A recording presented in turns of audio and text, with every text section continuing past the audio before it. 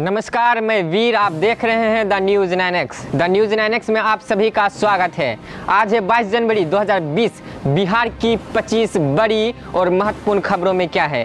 दिल्ली के शाहीन बाग में CAA और एनआरसी के खिलाफ पिछले एक महीने से ज़्यादा समय से प्रदर्शन चल रहा है। शाहीन बाग में सी के खिलाफ प्रदर्शन कर रहे प्रदर्शनकारियों ने दिल्ली के उपराज्यपाल के साथ बैठक सफल नहीं होने के बाद भारत बंद करने की घोषणा की है। प्रदर्शनकारियों ने 29 जनवरी को भारत बंद का आह्वान किया है। बिहार की राजनीति में साल 2020 बहुत महत्वपूर्ण है। इसी साल अक्टूबर नवंबर में बिहार विधानसभा चुनाव होने हैं, जिसको लेकर आरजेडी ने अभी से अपने सीएम उम्मीदवार तेजस्वी यादव को प्रमोट करना शुरू कर दिया है। दो इसको लेकर तेजस्वी के बड़े भाई तेज प्रताप यादव ने ट्वीट किया है। ट्वीट में लिखा है कि राजद मेरी ताकत है। राजद से ही मेरी पहचान। जन जन के नायक मेरे पिताजी है। मेरे भगवान लालू जी के सपनों का बिहार बनाने के लिए आइए एकजुट होकर तेजस्वी को मुख्यमंत्री बनाइए। ट्वीट के साथ तेज प्रताप ने एक फ़ोटो भी शेयर किया है, जिसमें तेजस्वी यादव मुकुट पहने हुए हैं और तेज प्रताप यादव बगल में खड़े हैं। फ़ोटो के ज़रिए तेज प्रताप ने नया नारा भी दिया है। नारा है लालू जी के विचार को जन जन तक पहुंचाना है। 2020 में तेजस्वी को मुख्यमंत्री बनाना है। बीजेपी एमएलसी टुन्ना जी पांडे के लापता भाई को हाजीपुर स्टेशन से बरामद किया गया है। वह 18 जनवरी को मेरवा में अपने स्कूल से गायब हो गए थे। घटना के बाद टुन्ना जी के परिजनों ने अपहरण की आशंका जताई थी। पटना में चल रही नीतीश कैबिनेट की बैठक समाप्त हो गई है। कैबिनेट में कुल सात एजेंडों पर मुहर लगी है। कैबिनेट की बैठक में आपदा से निपटने के लिए कंटीजेसी फंड में 150 करोड़ रुपए की एडवांस निकासी की स्वीकृति मिली है। पटना के म्यूज़ियम के लिए मॉडिफिकेशन के लिए एक करोड़ की राशि की स्वीकृति दी गई है।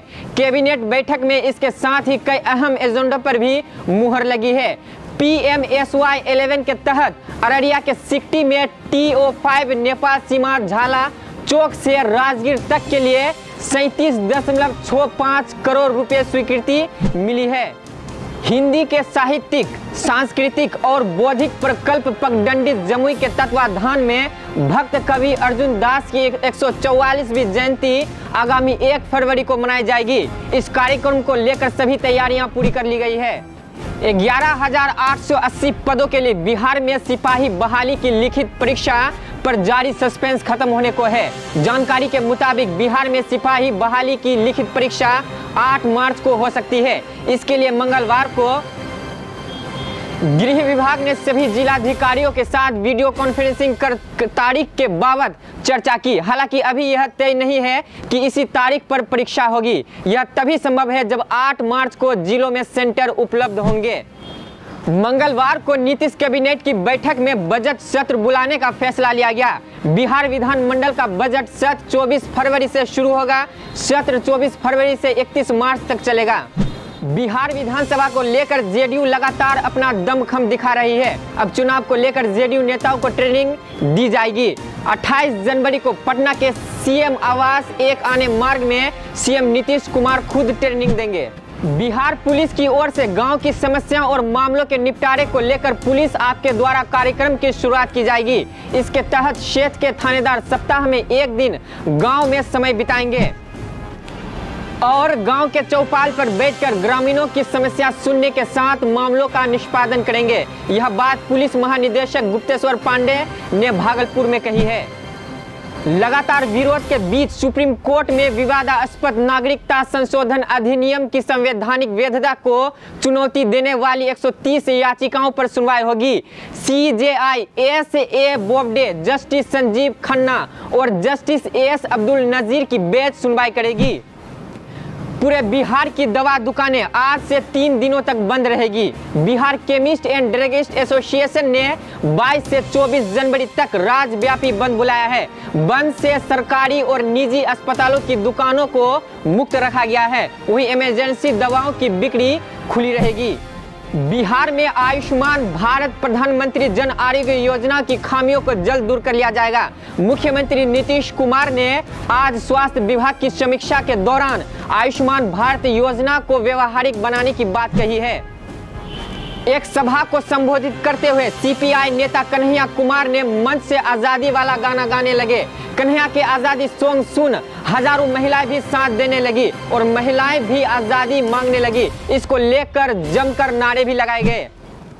जाप संरक्षक पप्पू यादव और उनकी पत्नी रंजिता रंजन लगातार नागरिकता संशोधन कानून को काला कानून बता रहे हैं। सभा को संबोधित करते हुए पप्पू यादव ने कहा कि राम को समझने की ज़रूरत है।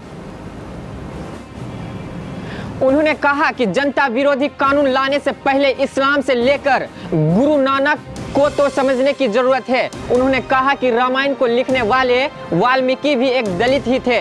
पप्पू यादव ने कहा कि इस देश में 26 करोड़ से ज़्यादा मुसलमान हैं। वे सभी हिंदुस्तान से मोहब्बत करते हैं। पूर्व सांसद रंजिता रंजन ने कहा कि दलितों और गरीबों को सताया जा रहा है। उन्होंने पूछा कि असम से निकाले गए 19 लाख कहाँ जाएँगे?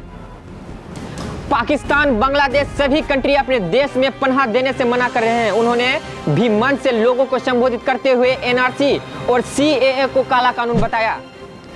कटिहार, पूर्णिया सीमा से सटे टिकापट्टी और कुर्सेला थाना की सीमा पर एक सड़क निर्माण कंपनी के मैनेजर से अपराधियों ने पिस्तौल की नोक पर करीब दस हज़ार रुपये छीन लिया। घटना भदैया टोला की है। पीड़ित मैनेजर का नाम अरविंद कुमार बताया गया। अरविंद कुर्सिला की ओर से रोड निर्माण सामग्री से भरा ट्रैक्टर, टेलर लेकर टिकापट्टी थाना क्षेत्र से बघवा गाँव की ओर जा रहा था। पुलिस पीड़ित मैनेजर से पूछताछ कर रही है। शराब तस्करी के आरोप में एक शिक्षक को पुलिस ने खदेड़ कर गिरफ़्तार कर लिया। उसका नाम रमेश चौधरी बताया गया है। वह पिस्ता गाँव का है। गिरफ्तारी भागलपुर पुलिस ने किया है। हुआ यूँ कि एक ऑटो भागलपुर दुमका रोड पर जा रही थी। उसमें 107 बोतल शराब थी। शराब के साथ प्रकाश चौधरी नामक व्यक्ति गिरफ़्तार किया गया। प्रकाश चौधरी ने ही शिक्षक के बारे में बताया। इधर पुलिस ने बताया कि तीन लोगों के विरुद्ध मामला दर्ज किया गया है। तीसरे की तलाश जारी है। ये थी बिहार की बड़ी और महत्वपूर्ण खबरें। खबरें कैसी लगी? हमें कमेंट कर ज़रूर बताएँ। यदि आप हमारा यह वीडियो फेसबुक पेज के माध्यम से देख रहे हैं तो हमारा पेज को लाइक करें। यदि आप इन्हें यूट्यूब चैनल के माध्यम से देख रहे हैं तो हमारा YouTube channel the news nine को सब्सक्राइब करें।